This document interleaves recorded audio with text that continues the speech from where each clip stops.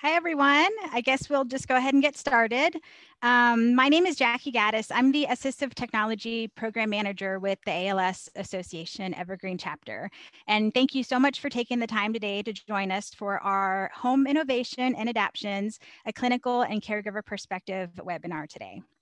So today we're going to have two speakers. Um, our clinical uh, perspective is going to come from Karen Wallace, and our caregiver perspective is going to come from Darla Burge. So um, I guess we'll just get started. Our first speaker, um, Karen Wallace, she'll present first. She's an occupational therapist and a certified assistive technology professional. She has been an OT for almost 20 years, been at the VA. She's been at the VA for six of those years and works in home based primary care. So she sees lots of home environments and, uh, and helps a lot of people. And this is perfect for her to share with you guys. Um, she runs two wheelchair clinics and is also um, an OT that attends an ALS clinic in Idaho as well. Okay, so we'll get started we'll uh, take it away to you, Karen. Um, give me just a moment. I'm going to pull up your slides. Okay. No problem. I want to, first of all, just thank Jackie because she's amazing. And you guys are just so incredibly lucky to have her. And I got a chance to watch some of her videos, which are amazing.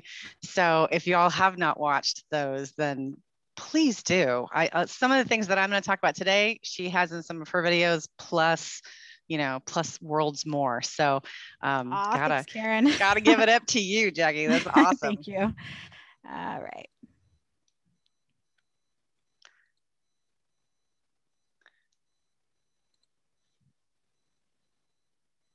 I see you. there we go. okay, you gave me enough time to get it up. Yeah, just little. little I can talk about you some more if we need to. yeah, that's fine. yeah. All right. Okay. It's a, the slide on there is a little bit wonky. Is that coming into focus or is it just for me?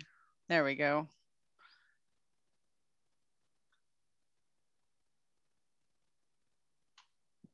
I want to make sure that I'm got control there.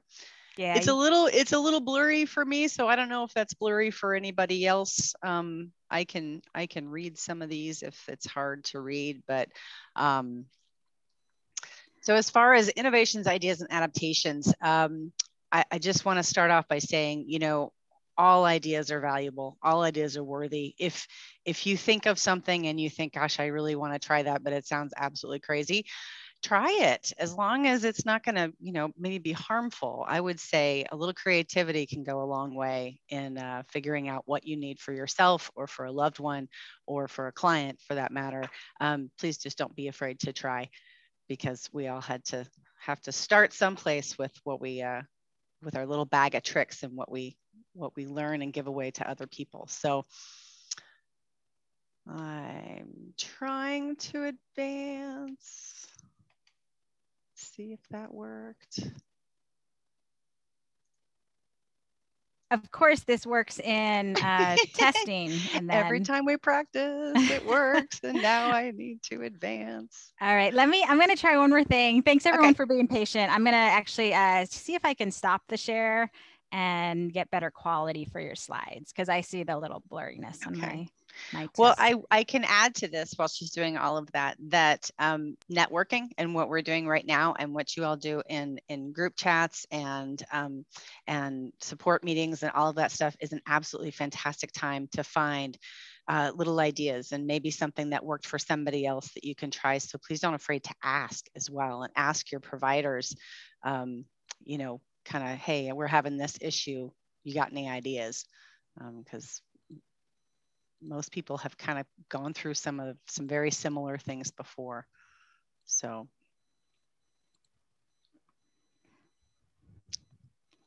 All right, trying again. okay, Oh man. that or I can I can make you advance my slides for me. Either way, let me see how this one works and then, uh, all right. Okay.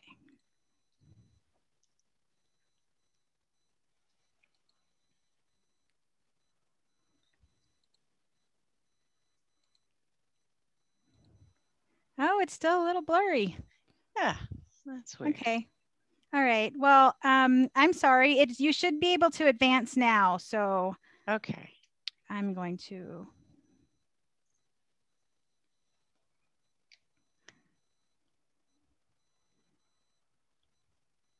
I'm trying All right. several things. I'm trying my down arrow, I'm trying my forward arrow, and I'm trying my mouse, and none of the above You has worked. Okay. So, I'll advance for you if you. Oh, there it goes. That Hey. just worked. all right. All right. Now just hopefully it doesn't advance the three times that I hit things.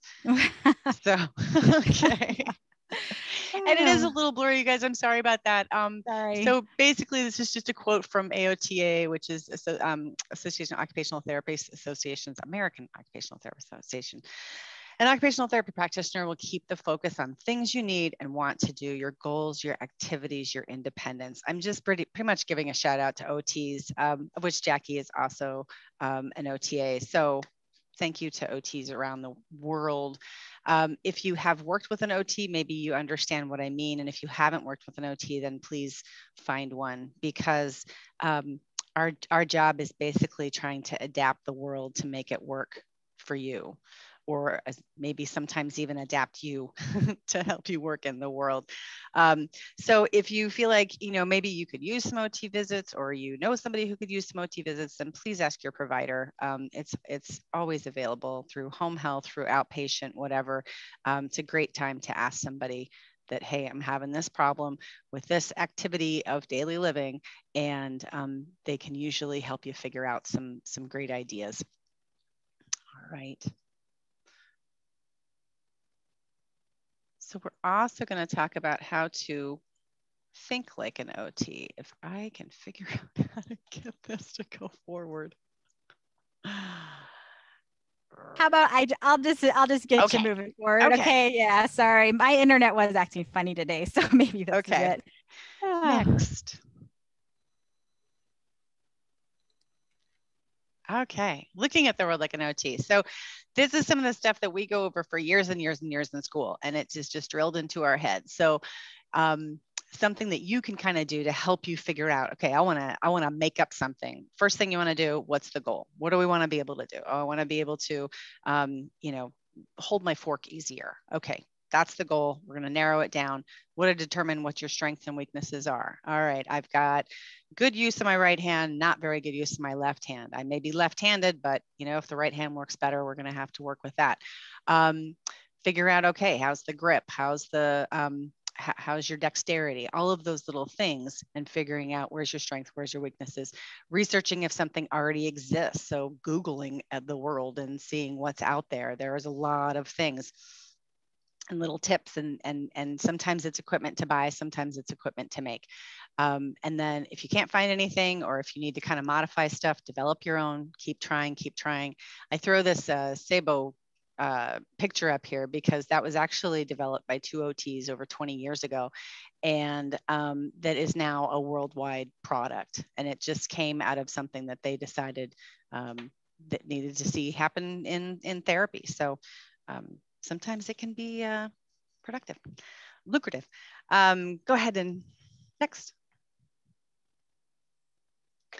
So my first rule for everything is please first do no harm. It may be a great idea in theory, but it may be actually a horrible idea. so um, we always think of safety as your absolute number one priority in any adaptation um, whether it's safety for the things around you, safety for the person who might be using it, or the person who might be helping the person use it. So caregivers as well. We want to make sure that everybody stays safe with whatever that we do. Um, okay, next. Um, so first thing we're going to go over is some wheelchair issues. Um, so again, safety first. The first thing I want to make sure is that uh, we make no absolute permanent changes to a wheelchair. No welding, no, um, you know, cutting bars off or anything like that. That is not what this is about. Everything should be able to be removed. Um, and easily. So if you needed it to be removed for a transfer or you, you know it was going to get in the way of something, boom, you can usually just pop it right off. Um, if you change the, the, the actual framework of your wheelchair, you could lose uh, void your warranty on that. And not only that, it could be quite dangerous. So we want to make sure that um, any of the things that we do are, are very safe. Alternative drives are another thing. Um, we're going to show a couple of photos of that. Uh, that if you're using a power chair, there are many. I mean, just uh, so many different ways to drive a power chair, um, from your head to your shoulder to your elbow to your hand and knee and um, foot and all of the above.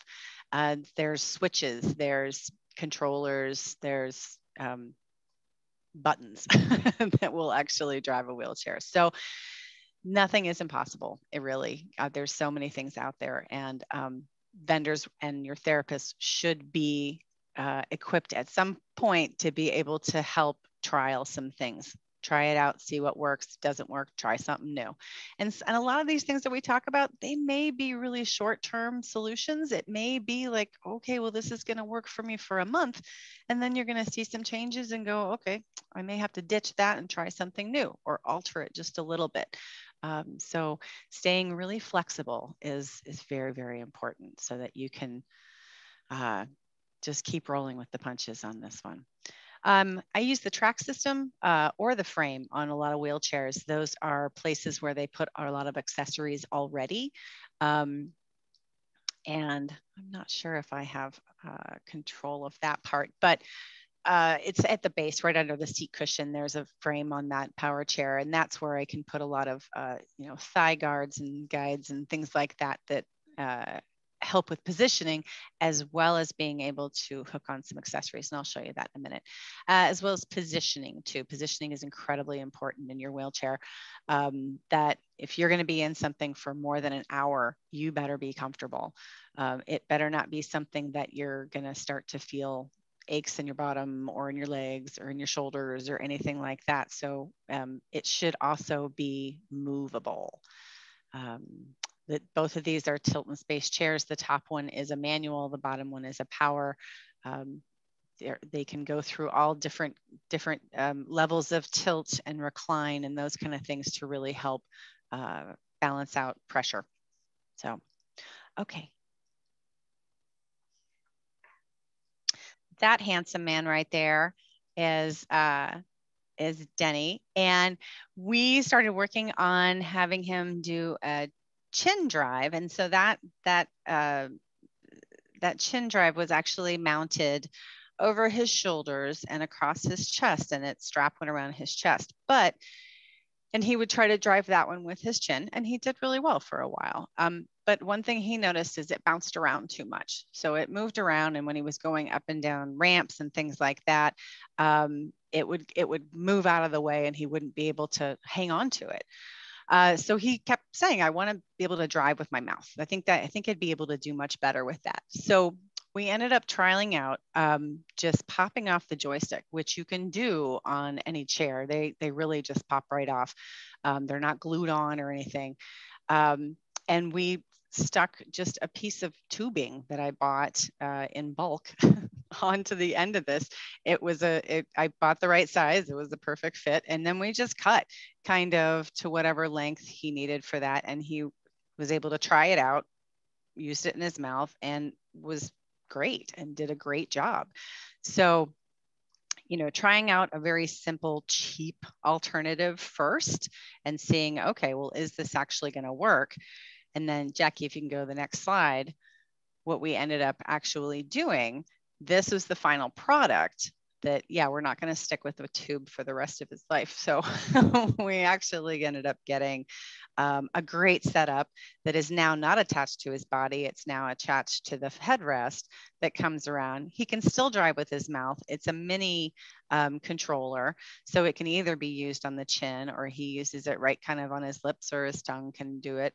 Um, and then he's got the controller at the forehead so he can change modes and go to a drive mode or change his seating position, those kind of things. Um, so just know, you know, it, the little the little things that we can try out sometimes are just really short-term options until we can figure out okay what's the final the final uh, product going to look like so Um, all right, and next. So this is um, probably hard to see, but it is what I was talking about earlier using that track system. This is um, a Permobil power chair. There is a track system right underneath the cushion of the chair. And that used to be a thigh guide, which is the little pads that go, you know, next to your thigh and kind of help hold your legs in place. This one, I took the padding off of, drilled a hole in the, um, I'm pointing at the screen like you guys can see me.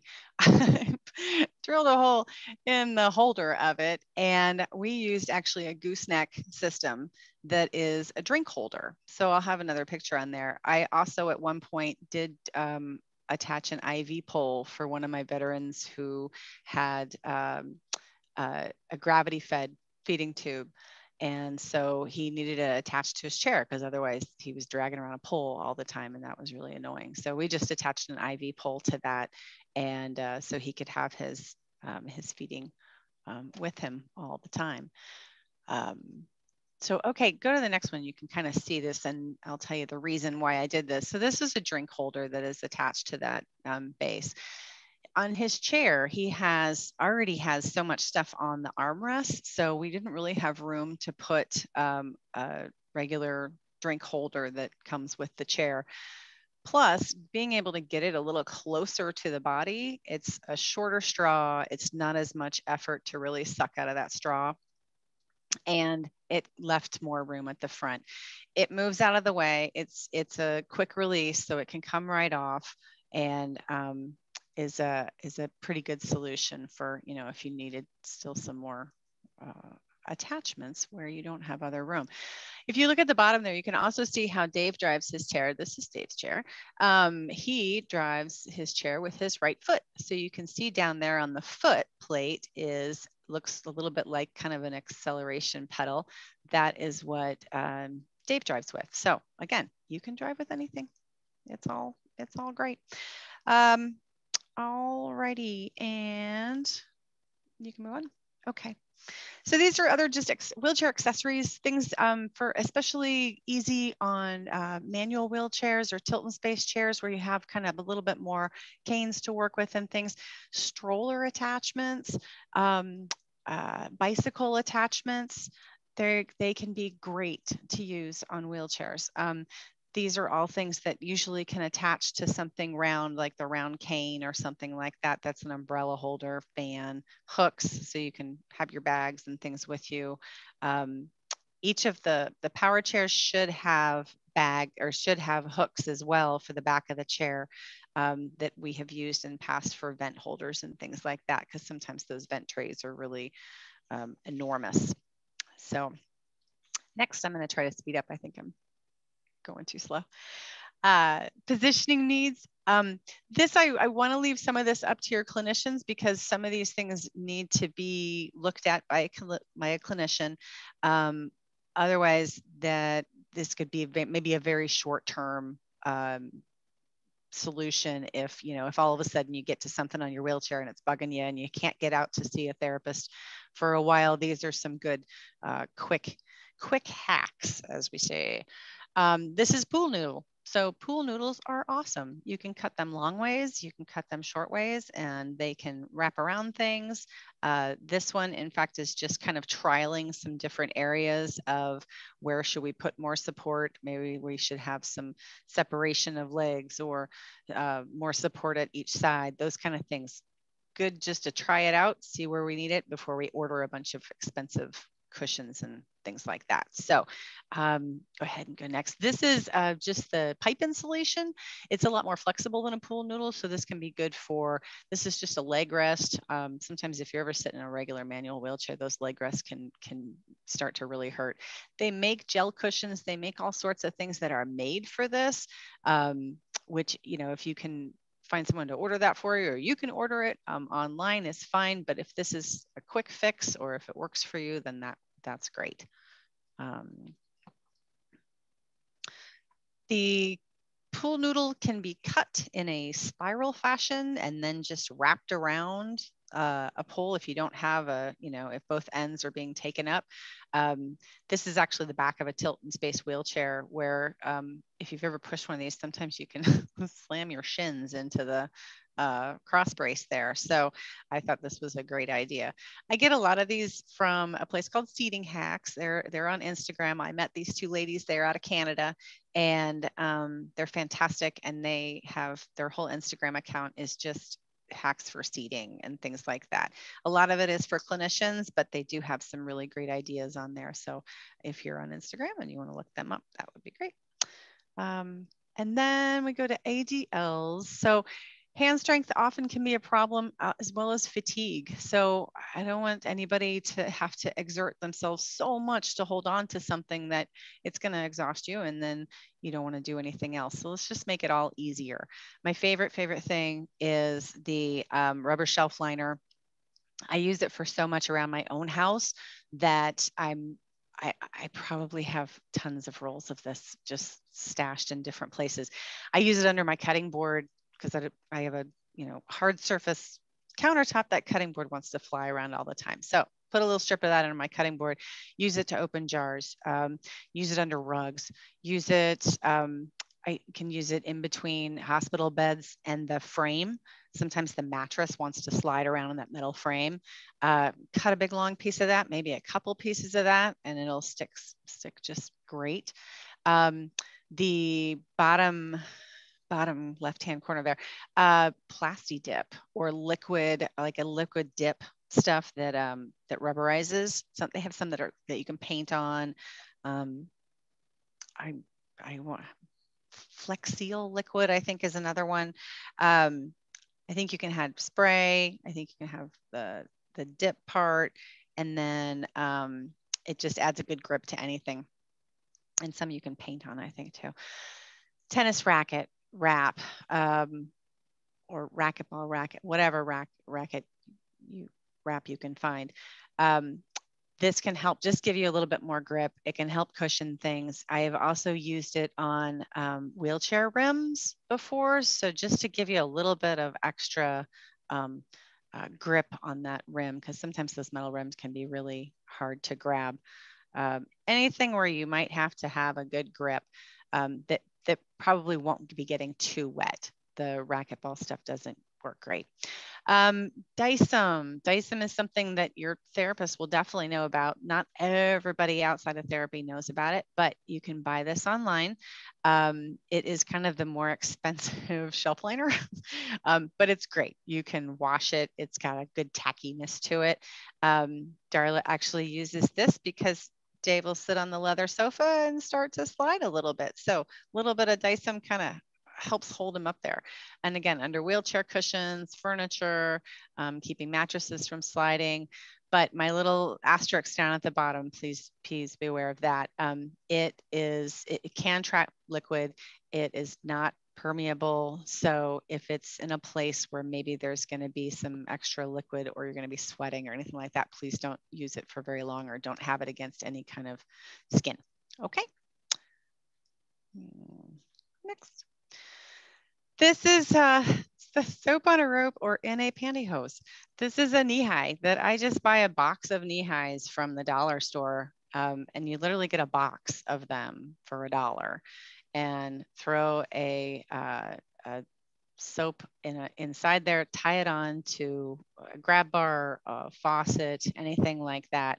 And I did this in, initially for a gentleman who did not want to use liquid soap. He just, he hated it. He couldn't do the pump. And um, so this just tied on next to his, his uh, shower chair and he was able to grab it, lather up, and just drop it and let go so it didn't fall on the floor or anything like that. So like this is um, for reading, you're working on a tablet, anything like that. It's, it is the easiest, cheapest thing you can do. Three ring binder with two big um, rubber bands. Can't get more simple than that. Uh, you can tuck stuff underneath the rubber band. Um, you can just set it on top, use it as just a, um, a lap tray. This, the one in the middle, I actually taped two three ring binders together because we needed a little bit more height on that. And then again, the infamous pool noodle, I sliced it in half and just stuck it on the end there so that the stuff didn't slide off. And then the third one is not mine. I wish it was because I love it, but it's the um, pants hanger holding up a magazine and keeping that open for you, which I think is great if you're gonna, you know, maybe follow a recipe or something. That's awesome. And um, bed alarms. I have a lot of people asking me for bed alarms, and I'm not a big fan of bed alarms. So I usually will recommend this instead. Um, I love this thing, and and it has worked out for every single person that I have recommended it for. It is a cheap driveway alarm. So I've had people take the driveway alarm, set it at the foot of the bed on the floor, facing the head of the bed. So if anything drops off the bed, if a hand drops down, if a foot drops down, anything, it will alert wherever that other part of the alarm is. You can plug that in anywhere in the house and you get a little doorbell. So it doesn't alarm the person who's maybe made the movement in bed, but it also will notify the other person if they happen to be on um, other ends of the house. So I do like that one and very inexpensive. Uh, for ramp safety, um, I don't know how many people have, have actually been in a power chair, gone up and down a ramp by themselves, especially if they're a caregiver. It's really scary. Um, you can't always see each side of the ramp. So do this and then instruct the person who's driving the chair to try to keep that um, orange tape in between their two foot plates, if they have two foot plates. If they have a single foot plate, then you can put a little piece of orange tape in the very center of the foot plate and say, just match up your two orange tapes and make sure they stay together. That way, you know your wheels are going to stay on the ramp. There's no riding off one way or the other and it just it gives you a little bit more sense of um, of safety going up and down um, and it could be any ramps it could be the ramp to your front door back door um, it can be places in the house where you need to make sure this is exactly where the I need to turn with my power chair so I don't run into the door. Um, you know, doing a little a little tape tape guide can be good. Um, last one is simple communication. Um, I know Jackie's done this before too. Um, is this is actually a laser pointer that I got on Amazon. I think it's actually a uh, a, a, gun um, laser. so it is really inexpensive and it doesn't weigh hardly anything. And I think for that reason that that's why I got it. Um, it is magnetized to this hat. I just put a magnet on the other side of the hat. And so we could move it around wherever you need it.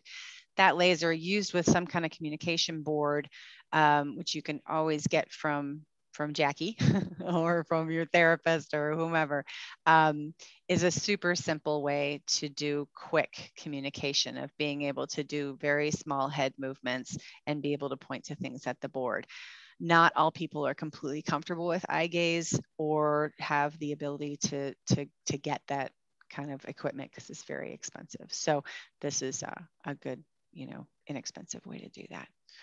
All right. And that's, that's me and one of my babies. so thanks so much. Um, I will be happy to ask, uh, answer questions when we're done. All um, right. Thank, thanks so much, Karen. Yeah. All right. So I think when the slides started, I believe they started getting clearer. So that's what the chat said. So um, so hopefully, Darla, yours, my internet works well and and mm-hmm. broadcast that clearly. Um, all right, so let me let me start your share. So so for so Darla's our second speaker, and um, and Darla, she's been um, a, your longtime caregiver to your husband Dave. So mm-hmm. she has husband Dave uh, for about over ten years now, um, and Darla is also a registered nurse. So I really look forward to hearing her presentation, and um, just give me about a minute, and Thanks. I will try to get your slides up. Thank you. Can anybody hear me? Am I on, Jackie? Yes, you're very clear to me. Okay, yep. thank you so much.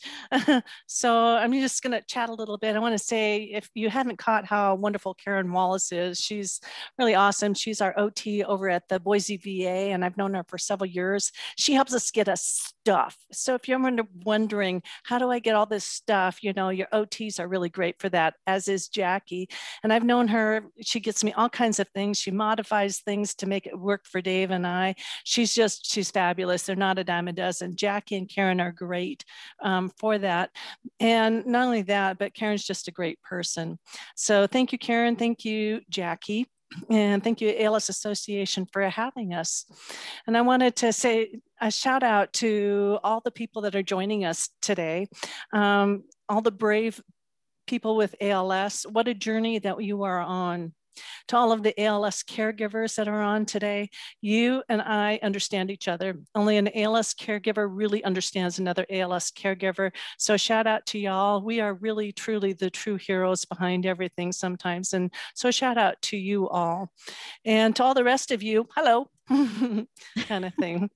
Um, so my name is Darla, and I've been a caregiver for over 50 years. My father had multiple sclerosis for 43 years, and three of those years, my husband had ALS. So I literally at the age of 10 is when I began becoming a caregiver to help my mom, out on a farm where there was, we lived in Timbuktu and there was no such thing as help. So we've been doing it quite a long time. Um, today I'm gonna talk just a little bit about advocacy And there's two aspects I would like to just kind of share with everybody. Uh, early on, it was who was the person that was going to be the go-to person in our situation? That happened to be me. And from there, I developed a team.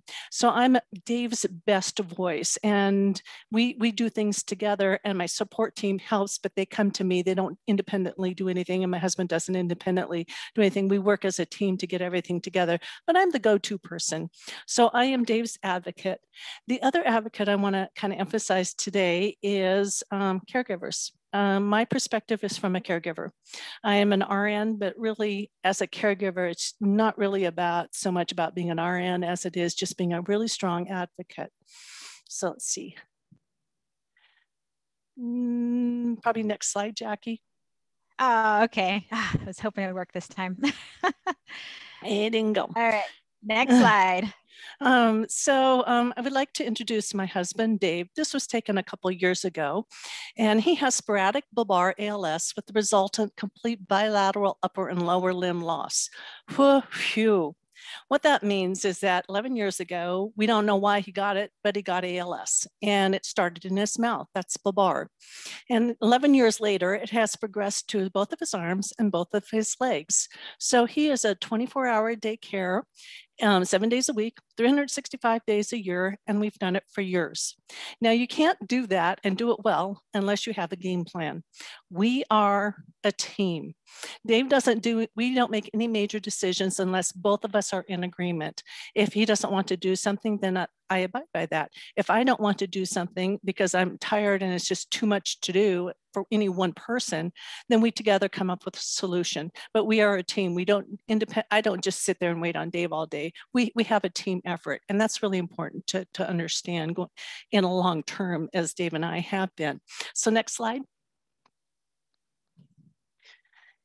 Thanks. So I have four keys to our approach to ALS. When he was first diagnosed, the first thing I, I, did in my own mind was all ideas and information, you've already heard it twice, but all ideas and information I listen to.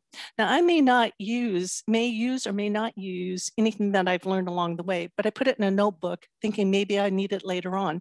But that has benefited me to take care of Dave in so many ways, because this is a massive disease with a, a massive amount of things to think about and try to come up with and figure out how to do. So all ideas are important. And you'll see some today that, oh, I'm doing that. Well, pat yourself on the back, thumbs up, you've got it and you're on the right track. The second thing that um, was really important to me was that we maintained dignity and a strong sense of purpose for Dave, which meant mental health. I didn't want him to get depressed along the way, which is kind of common in ALS. And so to do that, I had a goal. And um, yeah, to maintain his dignity. And we've done that. And I'm going to show you some things that we do that helps him to maintain to maintain that. The third thing, and this is a caregiver thing, I think these are three key things to being a successful in this endeavor. And the first one is being proactive. And if you're here today, you're already proactive. Gather as much information and ideas as you can. You don't have to use it, but maybe you will. I'm very proactive in trying to find out what I need to do. Then I get prepared. I go, well, I think I'm going to need that. So let's go get a some sort of wheelchair. I got to figure out which kind of wheelchair, who am I going to go to? What are the phone numbers? I'll get myself prepared. Not that I need it today, but down the road when I need it, when it's a week later when I do need it, my information is there. So now I've been proactive, I've gotten prepared, and I'm flexible. Oh yeah, I thought I needed a wheelchair next week, but I really don't. I can wait another year. Hmm. So I'm, you're always flexible on how you're approaching everything. The um, last thing I want to talk about is that today I'm just going to go with what are simple things that works best for us day in and day out. I'm going to introduce you to my home and some of the things that I do that works best for us. Um, I, I, I know a lot about complicated things and I don't want to talk about complicated equipment. At the very end, I'm going to make a list of all the equipment that I have. If somebody needs a, um, a little lesson on some of that, then maybe the ALS Association will get that. But for today, I'm just going to show you simple things. So the first simple, simple thing I'm going to show you is welcome to our home. This is our wheelchair ramp coming into the house. My husband is a true gentle soul and a gentle man. And he was overwhelmed by the idea of a wheelchair and wheelchair ramps coming into the house. He just wasn't quite ready. So we came up with, we had steps coming into our house, and we decided to do a wheelchair ramp um, made out of concrete. We pulled it out and it's just a gentle slope and it comes right into the house. And if you um, can see, I have a screen door that's open and that's done intentionally. Next screen. Um, I did that intentionally because when he was, when he finally did get to the wheelchair part of, of his life and we were going in and out of the house, my arms were full and I had groceries or I have his, his drinks and I had this and this and this and his wheelchair and I'm trying to hold open the door, not and try not to let my toes get run over by that bad thing, I decided I needed something to do. So I went to a hardware store and picked up a pneumatic um, door opener. And this actually, where I'm pointing to, that actually belongs at the bottom of a door, but I put it upside down at the top and you can push, I'm pointing to a button and you just push the button and it holds the door open. So he can take his time going in and out, aim so you don't hit the door as you're going in and out. And he goes in and out and I can go in and out and bring all the stuff that I need to in and out. And then the next slide, or right next to it, you show my hand and all I do is I push it and it goes closed. The one thing I like about my wheelchair ramp is that it, um, it doesn't announce to the wide world that I have um, an ALS, I have a disabled person in my house. It's a safety fish, feature. Um, I didn't want to announce to everybody, hey, we're wheelchair and there's pills in my home. And in today's world, that's kind of um, an important thing. So it just looks like a sidewalk. Nobody knows who lives in my house and that I don't make myself any more vulnerable than I have to be. So I like a, my wheelchair ramp and how we do things going in and out of the house. So thank you. Next slide. um, this is, um, I'm going to start with just very simply done. What do I do every day with all that stuff? Do you see the shelf liner? Mm-hmm. Shelf liner is your best friend. There's a shelf liner, Velcro, a glue gun, hard cardboard. I use a lot of really, really hard cardboard, foam of all different kinds, um, thick, thin, in styrofoam. And a lot of that comes from Karen's stuff that she sends to me in a box. And here's all this styrofoam. I go, oh, I can use it for this and I can use it for that. Well, what are we going to do with all these things that are very simple? This is a great way to be flexible. So the next slide. These are some of the simple things that I do that makes Dave feel um, eh, Dave can do his things that he does every day. So such things as a pens, toothbrush, chap, stick and remotes. He likes brushing his own teeth. And when I tried to bright, brush his teeth, he would just bite down on the toothbrush and wouldn't let go because he just like, I want to brush my own teeth. Well, that was important to him. So we can make that happen. So I got an electric toothbrush and shelf liner and I wrapped it until it was really, really thick. And I put some rubber bands and foam on it. Can easily take it off and rewash it. But remember, Dave doesn't have any arms or hands. So how does he brush his teeth? Well, I, I take his wheelchair or he can go, have him go just right up next to the edge of our counter and I place his hands on the counter. They don't go anywhere because he can't move them on his own independence. So once they're in place, I can make it like a a little cup of his fingers and I'll put the toothbrush in there and he'll move his head up and down to brush his own teeth. And it's quite a feat to watch. it really is. But my oldest son came home and he watched Dave brush his own teeth with a man that doesn't have any arms. And he said, Oh my gosh, mom, did you see dad brush his teeth? And both of them would come out and they were just grinning. And so it was a very self satisfying thing for him to be able to accomplish that.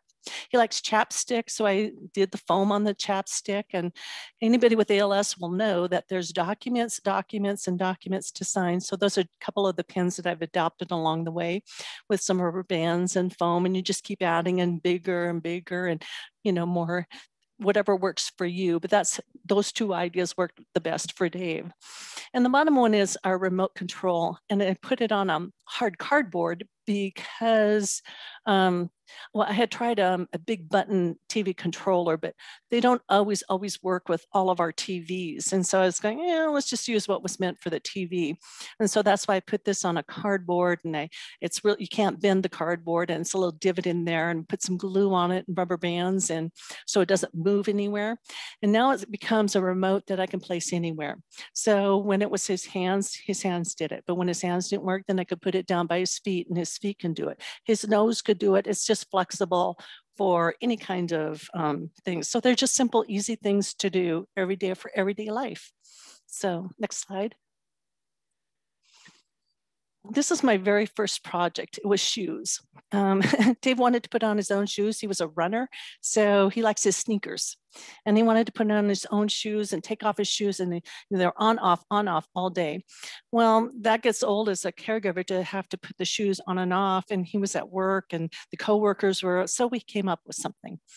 And I said, you know, hey, it's just too bad we can't just make a loop. So we, the fingers that don't work, we can just kind of hook it and then, you know, you could put your foot in. So we got some um, shoe, elastic shoelaces and I put those on and tightened them up to how tight Dave wanted them, but they stretch enough that we can pull it open. And he would just guide his fingers and then kind of hook it like I have my fingers there and he'd just hook it and then keep the um, tongue there in position so that he could just slide his foot in and out.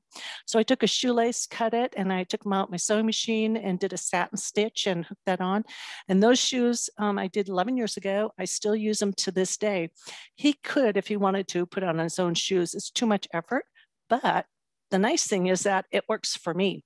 So I can put his shoes on, boop, boop, and they're on, off, on, And he needs shoes on to run his wheelchair, which you saw that Karen had. He's a foot control wheelchair. So he has to have a shoe on when he drives his wheelchair.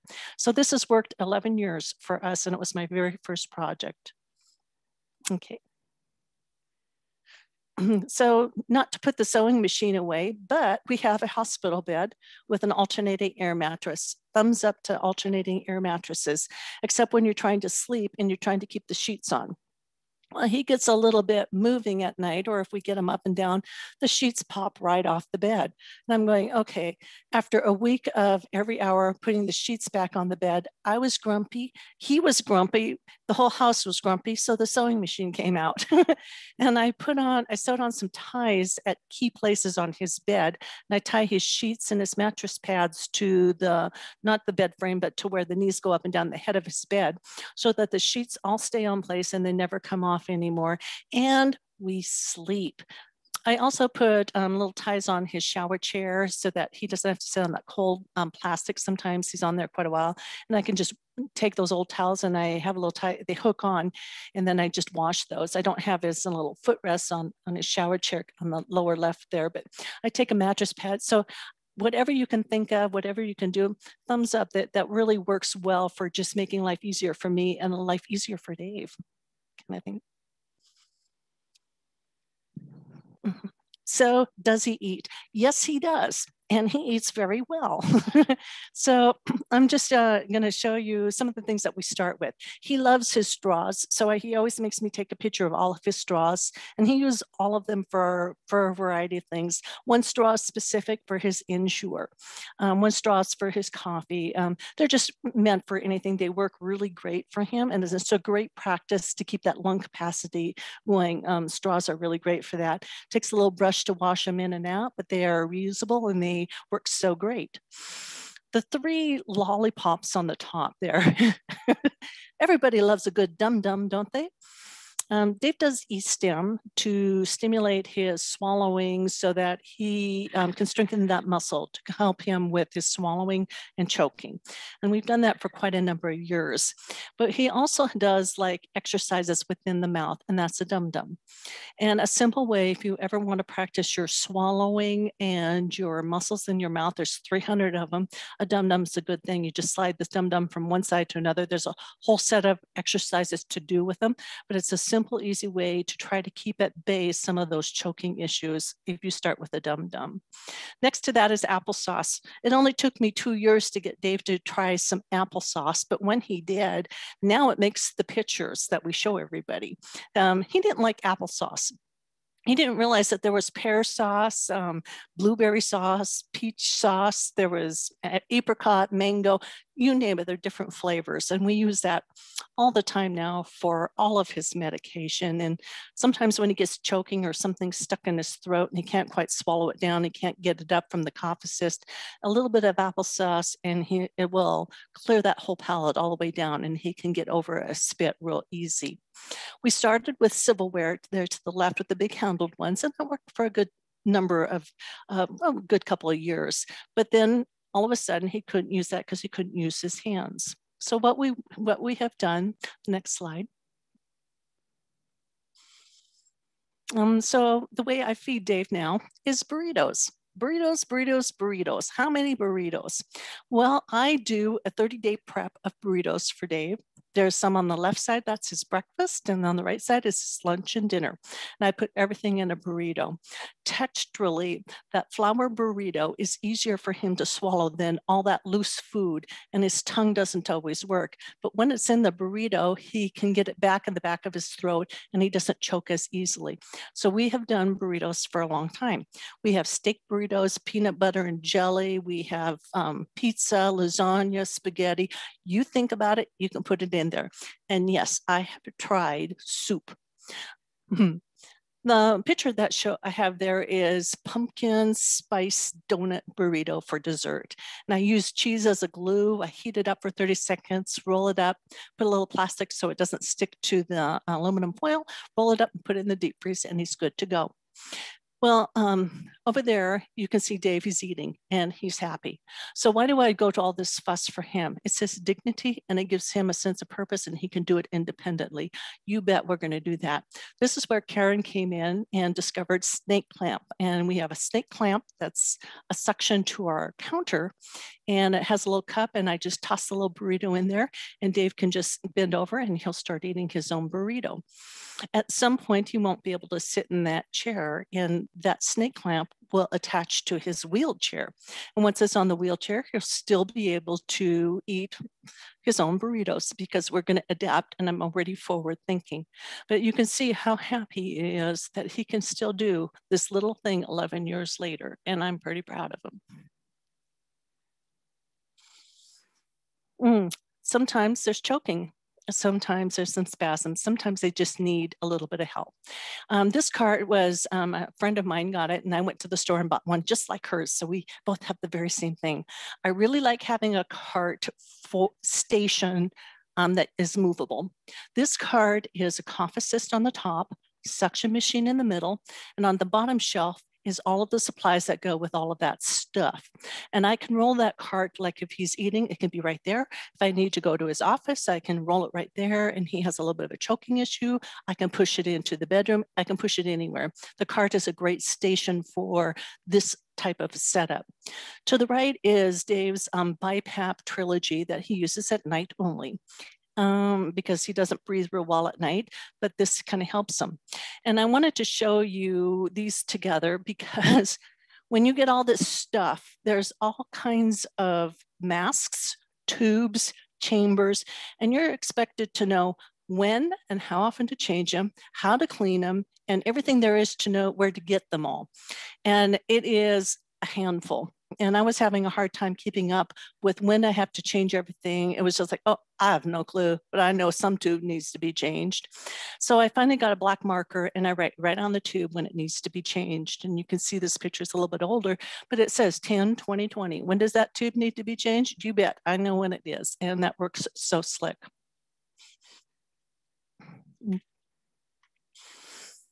Um, my, one of my biggest fears with Dave was if he lost his voice, how in the world would I ever know if he needed something? And Karen talked about the bed alarms. And so I'm going to show you how we do it in our house. Ding dong doorbell is how we do it. Thanks. So I have a, I'm going to talk about one of my team members, and that's my youngest son. And so I'm just going to showcase a few of the things that he does for us. Um, these are doorbells of, that I use in my house on a daily basis, and they work great. The first picture is the bidet. Um, and that is for Dave's dignity so that he can wash his own little fanny without me going in there and helping him. And it's a foot it's a remote so i can put it on the wall i could put it on the floor it's whatever part of your body works the best and that's how we do that. Or i can take the remote and squirt them from outside. Mm, i'm okay with that but he likes to do it himself so if you hear him giggling in the bathroom you know he's playing with the bidet um, when he's all done then i have that doorbell right next to it and he'll ding him ding me with the doorbell and with that doorbell, um, it was a little bit too far in. So I take that styrofoam from a box that Karen gave me and I glued it, made it a little bit higher so that his toe could could push it. And that worked really good for him. To the right is different doorbells that I have in the house at different places, like by his, in his office or just everywhere. Um, but the top one I wanted to show you is a light it's a remote control for a lamp. And I put a remote control light bulb in the lamp. And in his office, he can turn on his own light whenever he wants with his toe. Um, so he will it has on off brighter dimmer or whatever. And then there's all the doorbells there that he can call me on that we that we use along the well along the way. So next one. So this call light is special for his bed. Um, it's really hard for him to push that teeny little doorbell on his bed. But I knew about AbleNet and they make these soft cushion um, call lights. But this call light is meant for kids, disabled kids, to run all of their toys. Well, I didn't want to run a toy. I wanted to run a doorbell. And this is where my team member, youngest son, came over and I said, here, Dane, here's a doorbell. Here's a. Uh, I want you to take the guts of that, put it in this brown thing so that it can talk to my doorbell receiver out in the uh, out when dad's sleeping and I'm out doing things in the kitchen, he can call me whenever he needs something. And so he get in, he got in his car, went home with his wife and said, "Mom wants me to do this." And, by George, he did. So he put that in there. It's a remote. I have some Velcro you can see on the right that is attached to his bed rail, and he just taps it real lightly and it goes off. It's a great thing. So I appreciate him doing that. But it's utilizing my team. Hmm. Well, my husband um, is very with the program. He has no arms, no hands. So what do we do all day long? He retired, and here I have a husband. I'm not good at it, and frankly, I don't think he wants me to entertain him all day. Um, but what are we going to do? So we played off of his strengths, and he likes computer stuff. It's a mental health thing, and he entertains himself all day. It's um, a lot of this stuff is going to go into a computer technical thing. So that's where the team member, my youngest son, comes in. I don't do it, he does it. The first thing I do is because he started in his mouth and then it went down to his limbs, the strongest part of Dave's body is his foot. And so he couldn't do computer work with his hand or a mouse. We needed a foot mouse. And the foot mouse can cost anywhere from 700 to $1,500. I didn't want to play around with that kind of money with a mouse that may or may not work, that may or may not work with my computer. So we opted for a little bit simpler of a solution. And this is our foot mouse. And um, Dave, it works really great for Dave. You can see that his foot is made just for his foot. I use a NeuroSock. He has a NeuroSock. If you don't know what that is, you can always holler at me. I'll let you know. I have specific NeuroSocks for this, for, and then some for his bathroom too. But this is a foot mouse. And if I have enough time, I'll just, I'm gonna go quickly on these next slides to show you that I actually make this. So next slide. This is my Simply Done. Again, I'm using just um, foam, glue gun, a screwdriver. I use my um, shelf liner. I went to the dollar store and got a spoon and the little mouse came from thrift store that my son picked up. Okay. And so uh, how do we make that? This is me. And I take a screwdriver, I get, look inside of it, I clean it all up because they are dirty. and where that yellow thing is pointing, I'm gonna make a little hole in there to put the spoon in, okay?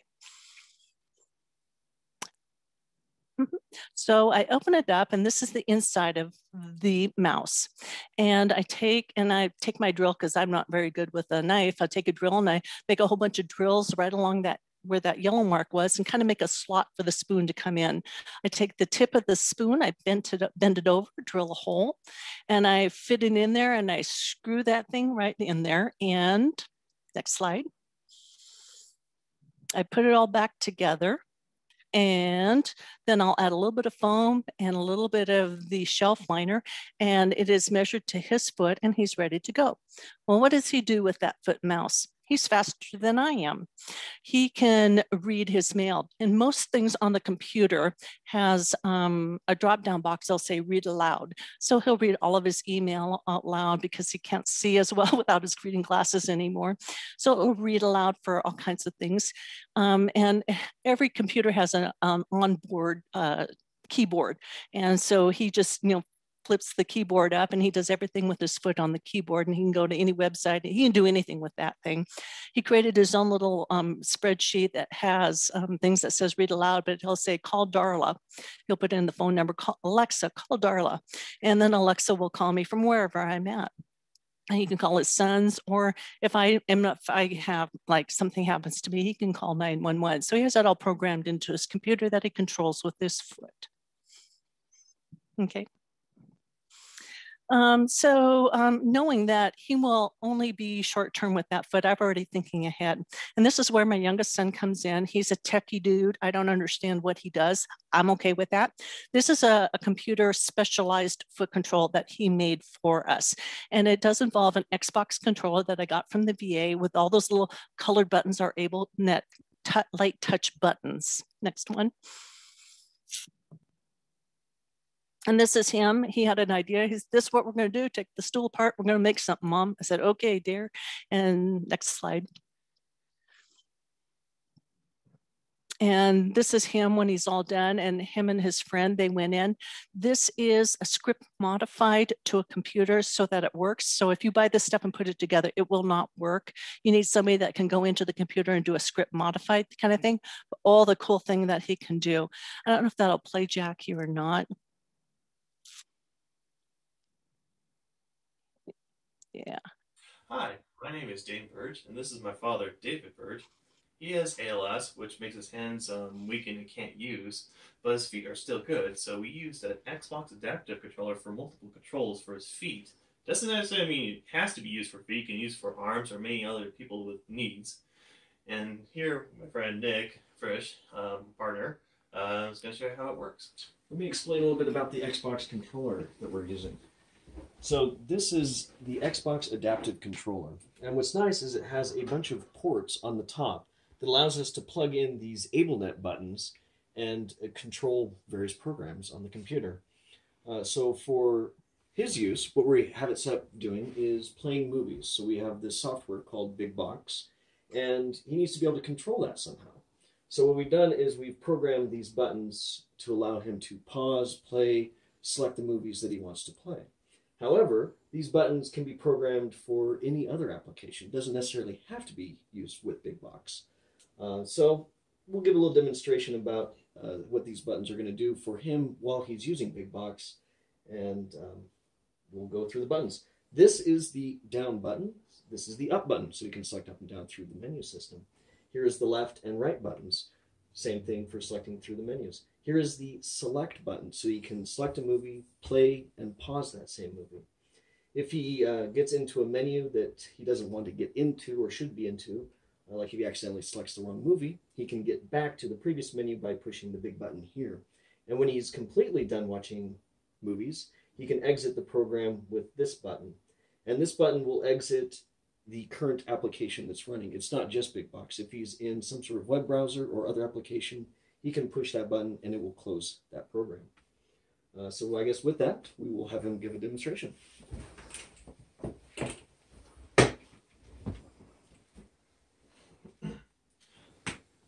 so let's select the green button for movies. And Alien okay for you to watch? Yeah. All right, so that's like the green button. that's gonna be loading the movie. All right, and we can let's try turning turn down the volume a little bit. So let's select the black button. Turns it down. Uh, that's too much. Let's select up for blue button there. There we go. Perfect. Uh, let's let's try. I've seen the intro. We can skip the intro by hitting the red button. Yeah, it's kind of fast forward a little bit. Oh, maybe. Oh, wait. What was that name? We can go back. What if we hit the yellow button? Who was that? Oh, Yeah. Veronica. And let's pause it right there. I gotta read that name slowly. So you can hit the green button, Yeah. and it will pause it. Yeah, perfect. Well, it's building toward aliens. All right. Well, let's let's done watching this movie. So let's back out of it. Perfect. back out even further, and then and and let's kill this program. Perfect. So we can do that with even web applications. Thank you for watching this video. And we are a company called Mabel Mason. We like to make fun things like this. Thank you. And that's my son. I wanted to share with you that that was the second time they've used that. So it's very user friendly. And they really had, they don't do that for many people, but they do do it for their parents, which I really appreciate. This is the list of all the things that um, I know quite a bit about, but I didn't go into today. There are many other things. We are, I want to thank you for your time today. If you have questions, please stay on and we can, we will try to answer them. Karen and I will answer them the best we can, but you guys are amazing.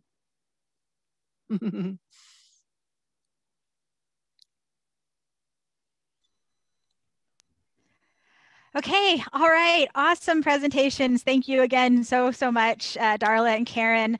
Um, I learned some stuff. I love that foot mouse. That's that was my favorite actually. um, it's like, why didn't I think of that? Uh, okay, so um, um, so uh, we can we can actually open up. I'm going to open up the floor now. My email because I sent out the invite today, and um, I want to thank everyone for being patient with our technical difficulties as well, especially Karen during her presentation. No Um, problem. Jackie, Jackie, thank you so much. And if anybody has other questions, then send them to Jackie and we'd be happy to get out, get back to you too. Thank you, For Jackie. sure. Okay, all right, you guys have a great day. Bye. All right. Okay, bye. Bye.